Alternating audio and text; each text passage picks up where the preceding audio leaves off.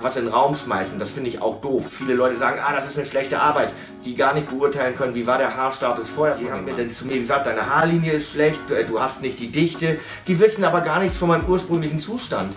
Also, oder ich werde auch nicht aussehen wie der. Oder der wird nicht aussehen wie der. Weil jeder Mensch hat eine andere Grundlage und es liegt am Arzt, das zu beurteilen oder an der Ärztin, das zu beurteilen und aus deinem Kopf aus deinen Haaren das Beste rauszuholen. Salut meine haarigen Freunde und ne, die alle, die es werden wollen. Herzlich willkommen auf meinem Kanal Frankies Haartransplantation in Istanbul.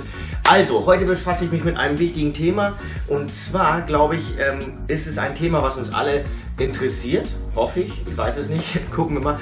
Und zwar das Thema Dichte der Haare und wie viele Grafts müssen verpflanzt werden.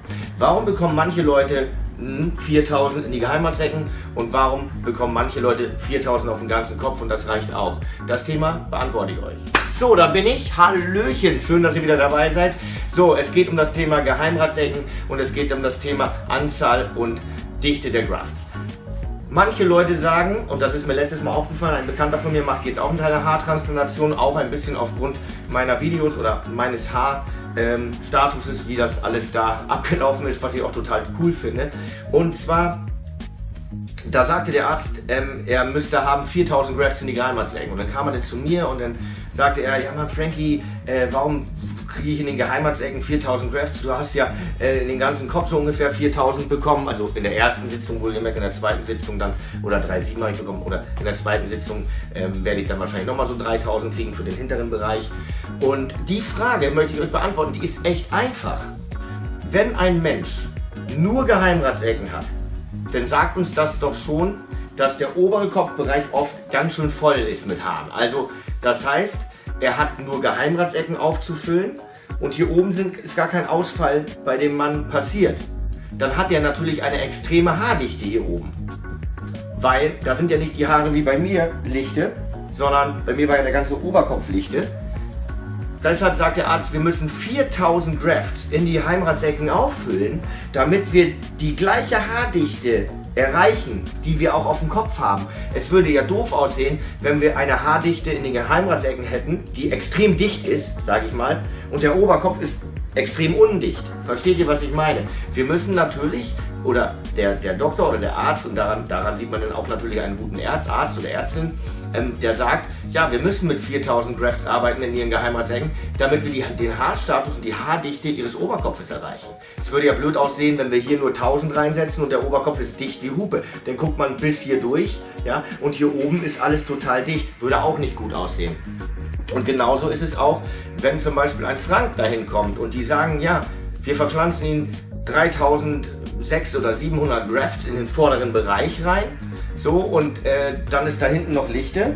Und dann setzen wir da nochmal 3000 rein. Dann habe ich generell zwar lichteres Haar. Also ich habe nicht die Dichte wie ein anderer Mensch zum Beispiel, der vielleicht am Oberkopf wie so dicht ist. Aber das ist nicht schlimm. Wichtig ist die allgemeine Dichte des Kopfs dass die allgemeine Dichte einfach passt. Darum geht es. Man kann ja nicht immer dicht, dicht, dicht, dicht, dichter machen, weil der Spenderbereich ist ja auch begrenzt. Ja, wir können einmal rausnehmen, wir können zweimal rausnehmen, bei guten Leuten kann man dreieinhalb Mal raus entschuldigt, rausnehmen. Und das kann man bei mir zum Beispiel nicht. Bei mir kann man nur zweimal rausnehmen und dann muss man zusehen, dass ich eine gesunde, gute Haardichte erziele. Deswegen verstehe ich auch manche Leute nicht, die immer sagen, ah, deine Arbeit ist schlecht geworden oder du hast das da gemacht bei einem Billiganbieter, du hast es in der Türkei gemacht. Ähm, ich werde dir mal sagen, ähm, da haben wir ja auch so Special, Special Forum, wo die Leute manchmal auch so Sachen schreiben. Die haben mir dann zu mir gesagt, deine Haarlinie ist schlecht, äh, du hast nicht die Dichte. Die wissen aber gar nichts von meinem ursprünglichen Zustand. Also nehmen wir doch mal an, da kommt einer an mit einer Vollglatze. So, und der kriegt zwei Transplantationen, gegebenenfalls vielleicht mit viel Glück eine dritte Transplantation.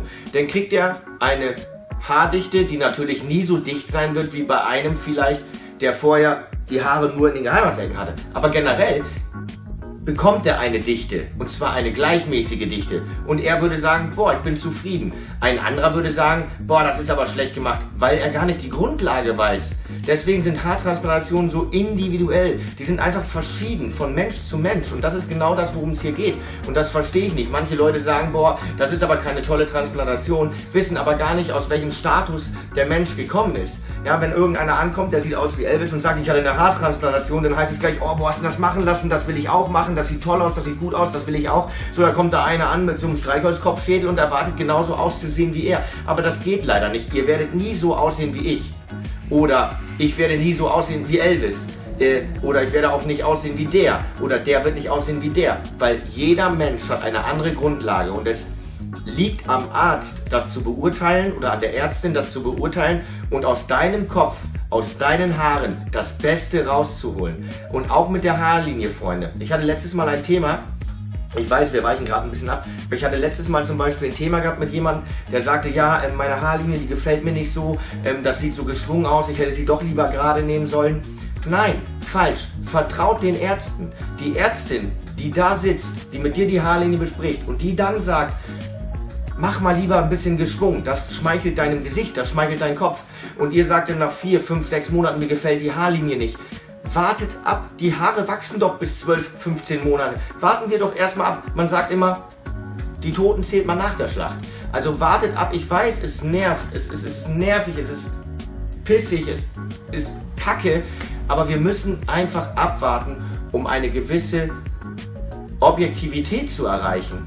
Objektiv zu sein und zu sagen, boah, das ist das Endergebnis, das gefällt mir. Danach kann ich immer noch sagen, hm, ich bin ein bisschen unglücklich mit der Haarlinie, vielleicht lasse ich es nochmal nacharbeiten. Das ist ja kein Problem. Aber generell wartet einfach ab und nicht immer was in den Raum schmeißen. Das finde ich auch doof. Viele Leute sagen, ah, das ist eine schlechte Arbeit, die gar nicht beurteilen können, wie war der Haarstatus vorher von dem Mann. Ja, einer, wie gesagt, der sich nur die Ecken auffüllen lässt oder den Oberkopf eigentlich gut hat, der wird immer ein bessere, besseres Ergebnis erzielen mit 4000 oder 6000 Drafts, nur im vorderen Bereich, als einer, der den ganzen Kopf gemacht haben muss. Der braucht zwei Transplantation und sieht immer noch nicht so dicht aus wie der andere. Deswegen, bevor ihr urteilt über die Haartransplantation, müsst ihr immer sagen, hey, zeig mir doch mal Bilder vorher. Wie war denn deine Grundlage?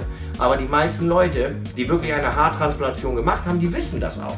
Das sind nicht manche Leute in Foren, die dann sagen, ah, das ist schlecht, das ist dies, das ist das. Oft sind es Leute, die haben noch nie eine Transplantation gesehen, die haben noch nie eine Klinik gesehen von innen, aber es wird erstmal alles schlecht gemacht. Viele sind auch in den Foren und machen es dann schlecht. Sorry, dass ich das mal so sage, aber viele machen es in den Foren dann auch schlecht, weil sie dann sagen, oder ein Problem damit haben, dass du vielleicht ein besseres Ergebnis hast für 2500 Euro, als er vielleicht in einem anderen Land für 10.000 Euro. Dann kommen sie damit nicht klar. Und dann sagen sie, hey, ist eh alles scheiße da, dort und hier. Ne, lasst euch nicht bequatschen. Ich sage euch nur so viel als abschließenden Satz nochmal. Die Grundlage muss man kennen. Vertraut dem Arzt. Die Dichte des Kopfes muss auch zu der transplantierten Dichte passen.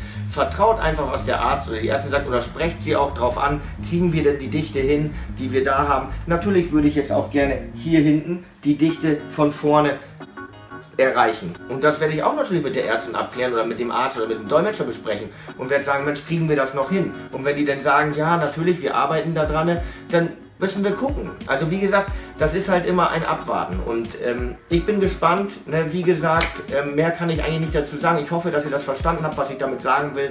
Die Haardichte muss auf dem kompletten Kopf einfach passen. Darum geht es einfach. Und ich hoffe, dass ich euch da ein bisschen helfen konnte und auch mal die Augen geöffnet habe. Also man muss immer die Vorherbilder sehen, bevor man urteilt über einen anderen, ne?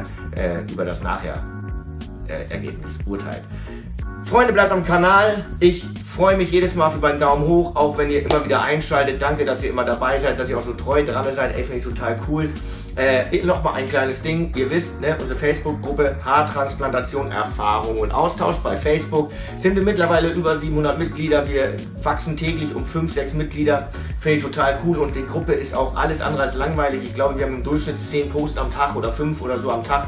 Die Gruppe ist richtig cool, es sind richtig geile Leute da. Und wenn ihr euch wirklich informieren wollt, bei Fachleuten oder Leuten, die wirklich Erfahrung haben, die alle eine HT hatten oder kurz davor sind, kommt in die Gruppe, erkundigt euch da. Das kostet euch keinen Cent, genau wie dieser YouTube-Kanal euch keinen Cent kostet bringt mir ja leider auch keinen Cent Geld, aber das ist scheißegal. Bleibt am Kanal, abonnieren nicht vergessen. Ich freue mich auf euch und das nächste Thema, was wir behandeln, ist wahrscheinlich dann ähm, Ich weiß nicht. Überlege ich mir gleich.